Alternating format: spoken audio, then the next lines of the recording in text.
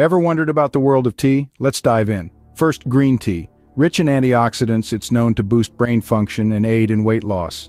Next, black tea. This robust blend may lower cholesterol and reduce the risk of stroke. Now, white tea.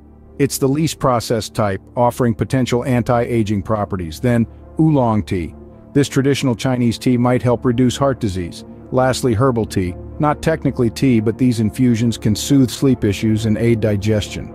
So next time you're brewing a cup, remember it's more than just a warm drink. It's a sip of benefits. Explore the world of tea, one cup at a time. Tune in for more intriguing insights. Over and out.